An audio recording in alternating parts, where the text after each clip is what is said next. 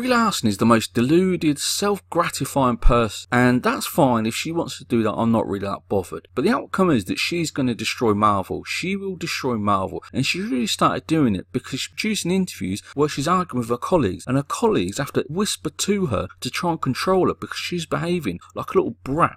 I mean, she's just unbelievable. Like this on Instagram, she says, "Grateful to be activists in art with you." That's what she sees herself as. She sees herself as an activist, but is she an activist? No, she isn't. She makes a movie called Unicorn Store, which is a terrible movie. It has terrible reviews. She makes Captain Marvel. Yes, Captain Marvel has made a billion dollars, but where does that money go to? Where does that billion dollars go to? That's right, it goes to the male shareholders of Disney. Disney are making money out of a feminist movie for their male shareholders. Captain Marvel is a product designed to make as much money as possible. And on the release day of Captain Marvel, what does Brie Larson do? She tweets about International Women's Day, the charity. Does she link to the website? No. Does she try to discuss what International Women's Day does? No, she just uses it to try and promote her movie. And the money from that movie goes to men. She's bonkers. What planet is this woman living on? She's off her rocker and she needs to understand what she's doing. She argues with her colleagues. Her colleagues have to whisper to her in interviews. She's off her rocker.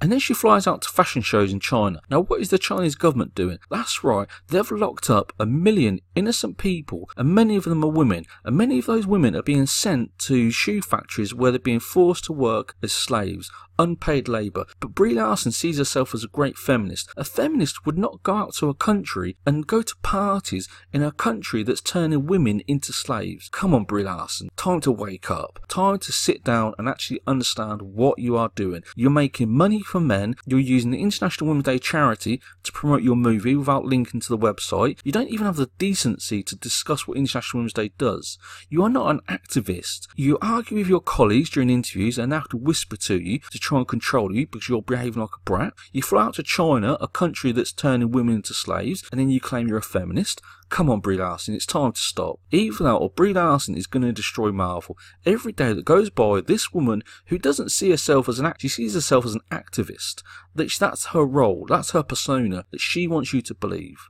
She sees herself as an activist. That, that's not the role of an actress. She's meant to be the next Scarlett Johansson or the next Chris Hemsworth, a professional actor who's making movies that are there to entertain people, not as an activist. If you inject politics into Marvel, those movies and that franchise will be destroyed. You've already seen it with Star Wars. Star Wars is in bits. And that's going to happen to Marvel because of this woman. And you've really seen it. How unprofessional is she? She sits in between Don Cheadle and Chris Hemsworth, very professional actors, and argues with them and tries to belittle them. And those two actors have to whisper to her to try and control her. Is that what a professional actress does? No. But Brie Larson, because she sees an activist, that's what she does. Now, activists, what do they do?